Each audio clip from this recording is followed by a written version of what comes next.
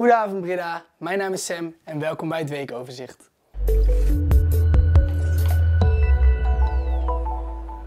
De gemeente Breda is het zat. Fout geparkeerde fietsen worden nu binnen een half uur weggehaald.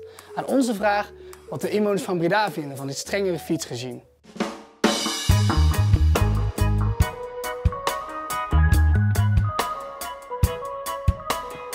Uh, ik heb er zelf nog niet echt veel van meegekregen. Dus ik heb, ben er zelf nog niet mee in aanraking gekomen. Dus ik heb er nog niet echt een mening over. Ja, vind ik een hele prima oplossing. Want het is afschuwelijk als je nergens bij kunt. Het is voor de veiligheid, maar ook voor de mensen die hier winkelen. Het is gewoon heel vervelend. Um, nou, tot aanleiding van die brand is het wel iets om te overwegen. Omdat ze er natuurlijk niet langs konden. Maar als je bijvoorbeeld snel naar één winkel wilt of zo, snel even naar binnen en dan terug gaat, dan is het ook weer zo van ja, moet ik dan helemaal mijn fiets in de fietsenstalling zetten? Dat is ook weer zo, dat kost ook best wel veel tijd. Um, nou ja, ik vind het eigenlijk wel prima, want um, nou ja, ik woon hier in de stad en uh, heel veel mensen gooien toch maar de fiets ergens neer. Uh, waar het dan uitkomt. Parkeer je zelf wel eens je fiets ergens in het centrum, niet in de stalling, dat je hem gewoon ergens neerzet, dat je eigenlijk niet weet of je daar wel mag staan? Ja, meestal met uitgaan parkeer ik hem naast de haven, daarnaast de fietsenstalling. Maar ik parkeer hem eigenlijk nooit in de fietsenstalling. En denkt u dat het ervoor zorgt dat mensen ook minder snel de fiets pakken om naar het centrum te komen en dat ze misschien eerder de auto pakken door dit strenge regime? Nou, die mogelijkheid is er en dat wil je eigenlijk ook niet. Dus dat is wel weer een probleem. Dus er moet meer gelegenheid zijn om je fiets kwijt te kunnen. Er moeten uh, op verschillende plekken bij de stad uh, fietsenstallingen komen. Dan los je het op. Wat doe jij met je fiets als je hierheen komt naar de stad? Uh, ik moet heel eerlijk toegeven dat ik hem ook wel een aantal keer verkeerd heb geparkeerd. En toen is hij ook uh, geheel terecht weggehaald. Ja, als de veiligheid in gevaar komt, dan lijkt me nog wel een goede, goede reden om te doen. Uh, ja, ik vind het wel terecht. Ik vind, ik vind het een goede beslissing dat ze hebben genomen. En heeft dat jou wel laten inzien van oké, okay, misschien moet ik beter opletten of iets dergelijks? Zeker weten, ja. Je kunt beter de fiets netjes neerzetten. heb je ook geen gedonderen. Nou, ik vind het niet heel erg eigenlijk. Want uh, als het in de weg staat en het blokkeert de veiligheid, dan moet er wel iets aan gedaan worden, denk ik. Is het ook bijvoorbeeld in de stad waar u vandaan komt een issue? Nee, ik woon in een klein dorpje. En uh, wij houden ons netjes aan de regels altijd. Dus, uh...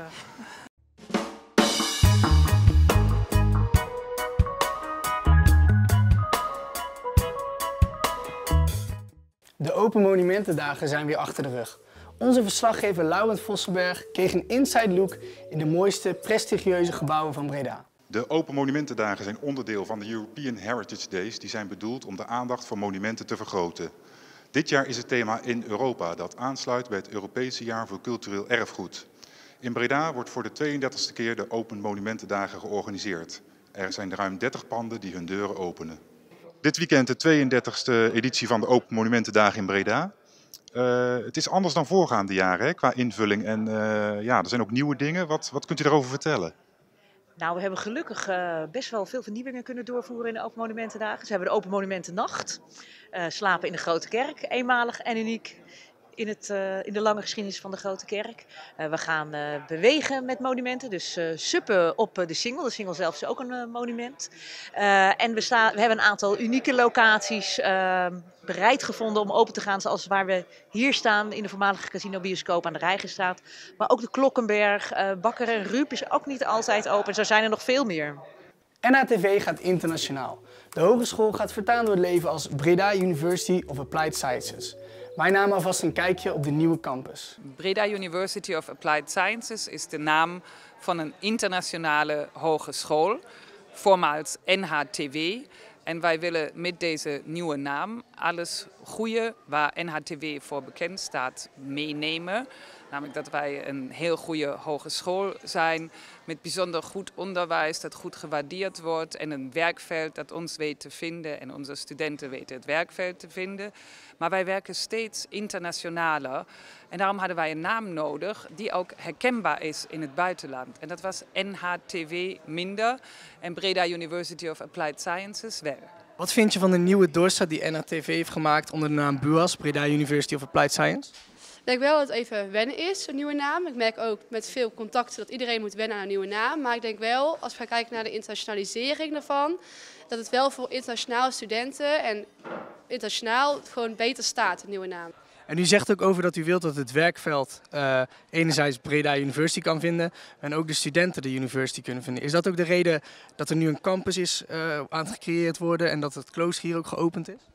Ja, de campus is een mogelijkheid alle bij elkaar te brengen. Aan de ene kant kunnen studenten, docenten en onderzoekers van onze verschillende opleidingen elkaar hier beter vinden en sneller samenwerken in wat wij dan learning communities noemen.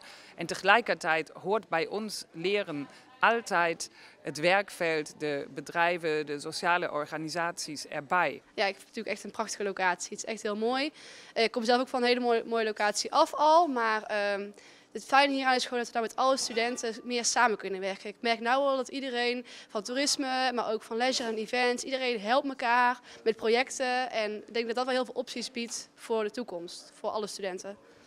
De KMA was deze week toneel voor de uitreiking van de Bredaanse Vredesprijs. Winnaar van het jaar was de 22-jarige Mo. De Vredesprijs is een erkenning voor mensen die eh, de vrede bevorderen. Dat klinkt wat abstract, maar mensen die op kleine of grote schaal helpen de samenleving wat te verbeteren. Eh, en het is de Bredaanse Vredesprijs, dus het gaat over Breda en omstreken. De prijs gaat dit jaar naar Mo. Nou Mo, van harte gefeliciteerd met je prijs. Uh, kun je mij even vertellen wie jij bent en waarom je deze prijs hebt gewonnen? Ik ben uh, Mo, 22 jaar. Uh, ik ben werkzaam bij project Grote Broer onder Kik. En ik ben genomineerd wat ik mijn eigen wijk doe. En wat voor, hoe ik mijn eigen wijk inzet voor de jeugd. En daar, daarvoor ben ik genomineerd. En wat doe jij zoal voor de jeugd in jouw wijk? we zijn sinds vorig jaar als kleine groepje begonnen. En uh, in eerste instantie, uh, omdat ik vaak straatwerk doe met uh, jongeren en kwam ik veel jongeren tegen en we probeerden gewoon binnen te halen. En sindsdien zijn we een groepje geworden. We zijn van jongens van 11 tot 15 jaar en we proberen gewoon straatwerk, voetballen samen en andere jongens die gepest zijn meeslepen tot, tot, tot, tot we elkaar niet gaan pesten en dat we respect voor elkaar hebben, normen en waarden hanteren. En zo proberen we eigenlijk verleidingen voor de jeugd te voorkomen. Onder de titel Infinity Beyond onderzoekt de achtste editie van Breda Foto wat de impact is van de alsmaar razende nieuwe wetenschap. Breda Foto, de naam zegt het al, is een fotofestival. Het is een biennale, dus dat betekent dat het om de twee jaar is. En dit is de achtste editie, dus we zijn al een tijdje bezig. En het thema dit jaar is To Infinity and Beyond. Uh, kunt u ons wat meer vertellen over dit thema? Klopt. We hebben elk jaar een thema. We proberen elke keer een thema te zoeken dat iedereen op een of andere manier uh, raakt. Want in ieder geval dat ze bij betrokken zijn. Dit gaat eigenlijk over dat we de laatste tijd gezien dat er gewoon heel veel technologische ontwikkelingen zijn. Die heel snel gaan. Denk aan de zelfrijdende auto, denk aan uh, robots, denk aan uh, mensen die praten over naar Mars te gaan. En dat hebben wij als thema genomen. Dat, van wat, wat betekent dat voor ons als mens, al die ontwikkelingen die zo snel gaan? Hoe is het om vrijwilliger te zijn hier bij Breda Foto en dan met name hier in de koepel? Nou, eigenlijk is het best wel gek omdat hier natuurlijk ook gewoon gevangenen hebben gezeten. En het is heel gek om op een plaats te staan waar je gewoon weet dat hier mensen gewoon hebben gezeten die misschien wel iemand vermoord hebben. Maar het is ook best wel vet om dit een keer vanuit de koepel zelf uh, van de binnenkant te kunnen bekijken. Omdat je hier anders nooit echt uh, zelf zo zou komen. De nieuwe opleiding Sport en Wegen van het Vitalis College is vliegend van start gegaan met een parachutesprong bij Baronie op de Blauwe Kei. Ook slaat de gemeente en het ROC de handen ineen met de opzet van een sportleerbedrijf. Wij gingen kijken hoe dit van start ging. Nou, wat het mooie is van de opleiding Sport en Bewegen is dat we in West-Brabant nu echt sport- en bewegen studenten helemaal goed kunnen opleiden. En je ziet het, 180 studenten hebben zich ingeschreven en die gaan straks het sportleven en de sportclubs in Breda en omstreken versterken. Nou, dat is waarom we het in Breda doen. We zijn hier ook aanwezig voor de opening van het sportleerbedrijf. Uh, kunt u vertellen wat dit inhoudt? Ja, in het sportleerbedrijf gaan we samen, Rob en ik, ROC en de gemeente, um, ervoor om, om de match tussen de student zeg maar, en de stageplek waar hij terecht komt, om die zeg maar, nog beter te maken. Zodat we uh, niet alleen die student gelukkiger maken en het bedrijf, maar ook alle mensen die daar profijt van hebben in de sportwereld, hè, dus de kinderen, uh, om dat beter te maken. Hoe, hoe, zie je de opleiding voor je? Wat verwacht je ervan? Um, hoe zie ik het voor me? Dat weet ik nog niet precies, maar ik denk dat we wel heel veel gaan sporten en heel veel leuke dingetjes gaan doen, samenwerken en zo. Dus ja, daar verheug ik me wel op. Heb je een leuke introgram gehad? Ja, zeker. Het was wel uh, flink aanpakken, maar ik ben blij dat het voorbij is. Weinig uurtjes geslapen neem ik aan. Ja, ja bijna niet. En wat vindt u van deze samenwerking met de gemeente Breda? Nou, het sportleerbedrijf is een unieke kans voor ons. Uh, het is een samenwerking met de gemeente Breda. Ehm, de gemeente eh, Breda en RFC West-Brabant is samenwerking aangegaan om ervoor te zorgen dat de studenten die een stageplaats zoeken in eh, Breda en omgeving, dat er een zo goed mogelijke match komt. Dus er wordt gekeken naar uh, wat voor vraag is er vanuit het werkveld, wat voor aanbod hebben wij aan, aan studenten. En die match proberen we dan zo goed mogelijk te maken, zodat de student op de juiste plaats wordt opgeleid tot, tot professional. Dus wij zijn zeer blij met, met deze samenwerking. Dilemma van de week. Een nieuw item bij Breda Nu waarin ik wekelijks de Bredase binnenstad intrek met de vreemdste dilemma's voor de inwoners van Breda. Deze week een dilemma over een sloot en alcohol.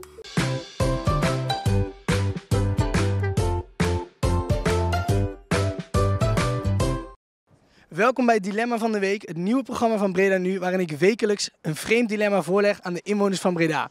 met deze week het dilemma je moet de rest van je leven in elke sloot springen die je ziet. Of voor elk glas alcohol dat je drinkt, krijg je één dag met de kaarten weer terug. Allebei hartstikke kloten natuurlijk, dus we gaan kijken wat de inwoners van Breda kiezen. Ik kies deze. Voor elke dag een glas alcohol. En waarom? Kater, omdat ik nooit drink. Dus nou, dan liever elke dag een kater. Je drinkt nooit?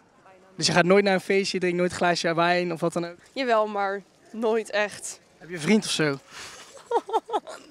Doe normaal. Ga ik ook voor de kater, ja.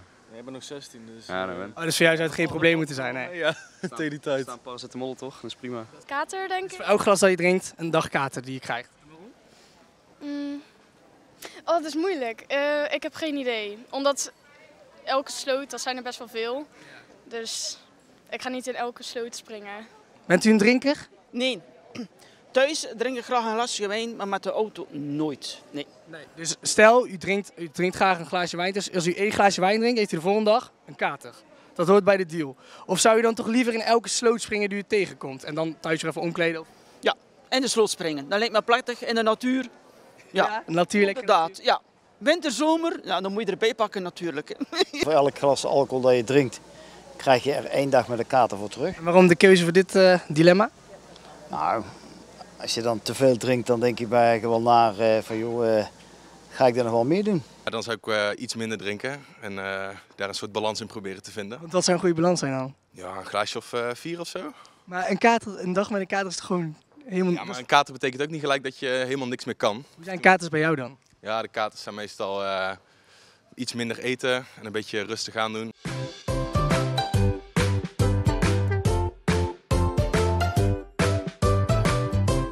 Dit was het weekoverzicht. Bedankt voor het kijken en tot volgende week.